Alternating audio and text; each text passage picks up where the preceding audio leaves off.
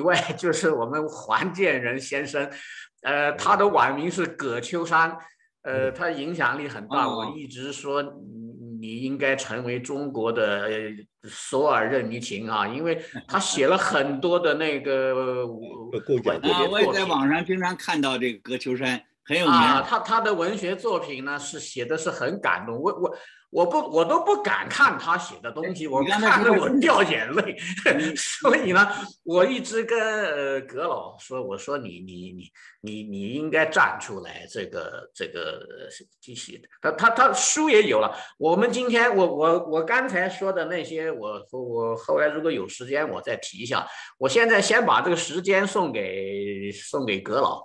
呃，你刚才说他的本名你你你肯定跑来，这个是对这个题目很有兴趣，你才会你才会冒出来了。所以呢，你你你给我们讲讲你的想法。你刚才听到没？你没听到老徐讲的，你听到老魏讲的了。你你你看你你是个什么看法？我们要听一听。你既然来了，啊，哎，对不起了，我时间弄错了。呃，我呃，我觉得好像我这应该是十点开始。啊，我这一来，你们好像已经都快结束了，是吧？啊，所以我你你你不是你你是你是什么时间？你应该时间跟我们一样啊。我是加州时间，加州呢比我们的要我也晚两个小时。他在纽约呢，嗯啊，晚两个小时啊，我比你们晚两个小时。加州晚一个，你们十二点呢？我想我十点来正好啊。我才九点半、九点十五一来，你们已经快结束了。哎呀，我很对不起，迟到是很不好的，所以很所以很抱歉。我把没关系，没关系，你就说你的想法吧。而且你最近我我没有没有准备讲话，今天啊，我要准备就自由谈，自由说一点点。哎，我跟大家说呢，我现在在一个思想很混乱的状态。啊，我觉得我如果说在思考上面呢，我觉得是一个很痛苦的阶段。我不像上一世纪，上一世纪我脑子非常清楚，啊，那个时候啊，觉得民主是我们归属，我们最后共产党很坏，啊，这个共产制度是人类的一个毒瘤，啊，我还相信人类最后都想走向民主，啊，因为人性个性是人性是自由的，啊，个人是平等的，啊，这个天为人权，啊，呃，这个这个思想很吸引我。啊，从我阅读了大量的西方的小说来看呢，啊，我也根深蒂固的受了他们的影响。我喜欢西方的文化，啊，这个现在我啊，像这个奥斯卡这些东西，我不愿意去看了。他已经啊，白人啊，不断的在让，啊，呃，少数民族紧到哪儿他就让到哪儿。你现在当年看奥斯卡的时候，那种场面让我激动的啊，非常激动。看他们一些电影啊，那种人性的感染，常常使我流眼泪。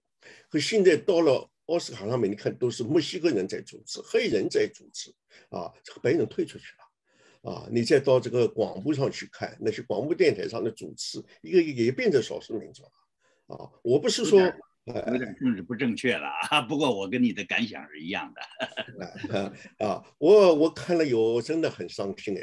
啊，我不是纯的就是个崇拜白人啊，这个世界的科学文化，这个世界的深刻的文化跟音乐东西是白人带来的，啊啊，现在他们一个都退出去，这个社会会会往哪个方向走呢？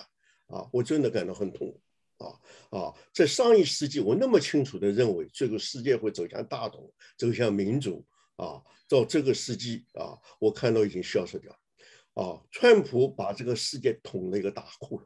把这个天空捅了个大口。说实话，川普是不应该当总统，啊，这个他们麻痹大意了。他们只要稍许注意一下，川普是当不了这个总统，啊，所以川普第二次是赢不到的，啊，川普当总统把这个社会，这个民主社会的真相一下子让我看得清清楚楚。哦，原来这个选举全是假的，啊，谁都没有怀疑川普是会赢的，但赢了最后还会输掉，告什么法院啊，什么东西啊，都是没用的。啊，呃，人民这么大的游行，没有办法来组织方向，什么东西呢？啊，一个深层政府在后面，啊，让我看到了这个深层政府。啊，原来这个深层政府怎么出来的？啊，是什么时候出来的？是不是中共？啊，说实话，中共是一个毒瘤，但这个毒瘤，说实话，如果没有它的经济强大起来，它对世界的影响非常微弱，非常微弱，非常微弱。中国是什么东西？中国只不过是毛泽东把过去几千年的这个做糟粕的东西集中起在集中在共产党政府里面，让他哎啊，让他做那个这不讲道理的做出来。中国最大的灾害是是是是对农民的这种这种剥削和欺凌啊！我们都是城市人，都是剥削者，在剥削农民啊！这些这个都是毛泽东总结出来的一套经验。啊，在中国实现了，但这个对世界没多大影响。这但是当上一世纪布什就是把中国养起来，养成以后自动走向民主，把中国养肥以后，中国一下子肥起来以后，中国对世界的影响越来越大。那么西方的这个目前的腐化，就是过了的腐化，是由于中国深入以后去把他们搞坏的，还是他民主走到一定程度自动就坏的？我没记了，我不知道。啊，但是确实坏掉了。我刚到美国八十年代的时候，我跟我我为了家里孩子签证的问题，我找过很多议员，啊，我去跟议员谈话，啊，他们我的我真的很感动，他们对我这么小人物，对我这种恭敬，这个这个什么东西，而且他们他们当时经济上很朴素的，我们当时都知道，我们毕业以后不能上是政府工作，政府工资极低，啊，待遇极低，啊。这个啊，政府啊，这个公司的待遇是很好的。政府唯一的就是将来工作人员的福利很好，啊，退休福利。但政府的人员都是很穷的，穷公务员。可是现在完全变掉了。变化是怎么变的？是中共进来以后啊，我我知道一个东西，我很奇怪，美国的 FBI 居然从来不提这个东西，民间也从来没提过东西。我不愿意再，我不愿意讲，因为我不愿意担任这个责任。啊，我确确确实实知道一个很厉害的东西，中国在美国怎么搞的。我一说出来，人家就知道这个方法不可能不成功。啊啊！但是我不愿意讲这个，这个这个话不应该由我来讲。啊，到底中共影响了美国，美国把美国这个这些个政务人员全搞坏掉了，还是民主走到一定程度，他们就会腐败？这个结论是没有的。但是有一条，现在深层政府已经形成了。现在我们如果还在讲美国是我们的榜样，将来怎么美国怎么办自己都不知道，啊，下面怎么办我们都不知道，啊，我们将来怎么办我也不知道，这个我们往哪儿走？而且民主是不是一个完全全好的方向？你们看南美就清楚，你们敢到南美去旅游吗？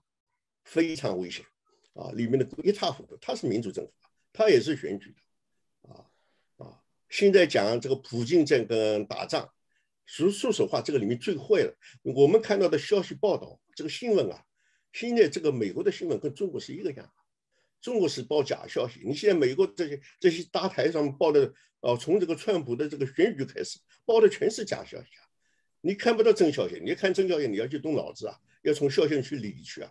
啊，这个这个这个这个啊，加上美国加上少数民族的问题，加上本身这些高层政政客的腐败问题。以及深圳政府的问题，啊，像马克龙啊这些，克这这个这个加拿大加拿大这些东西啊，后面的情况都是一批东西我们看不透，啊，我到了这个程度，我已经看不到方向，啊，像今天普京跟这个的战争，我没有，我不知道我怎么战，啊，我可以看到真正的是深圳政府跟普京在斗，啊，马林斯基，啊。他当时竞选，他作为一个演员出来说我要选总统，能选上吗？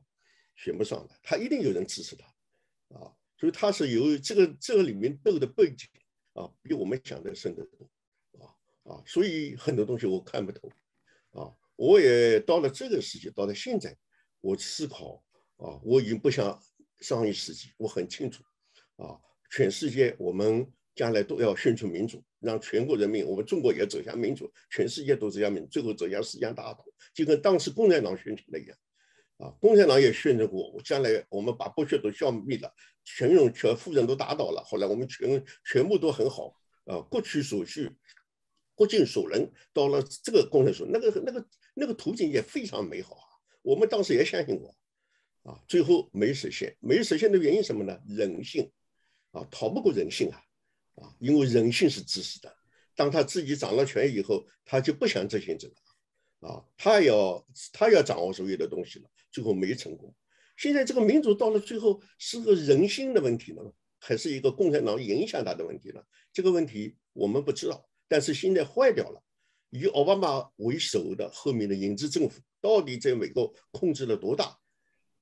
我们都我们只能看，但是我们可以看到的这个这个这个这个宣传的这个这些股大台的东西是不能相信，啊，下面怎么走？这个世界会往哪儿去？啊，真的很沉重，啊，我活到我已经八十岁了，啊，我是老大学生，啊，嗯，像在美国像我这样年纪大的，啊，来的不太多，啊，我走的一条路实在实在是很曲折，啊，但是到走到今天我。快老的时候，最后这么沉重，看不到方向，啊，真的是蛮痛苦的，啊。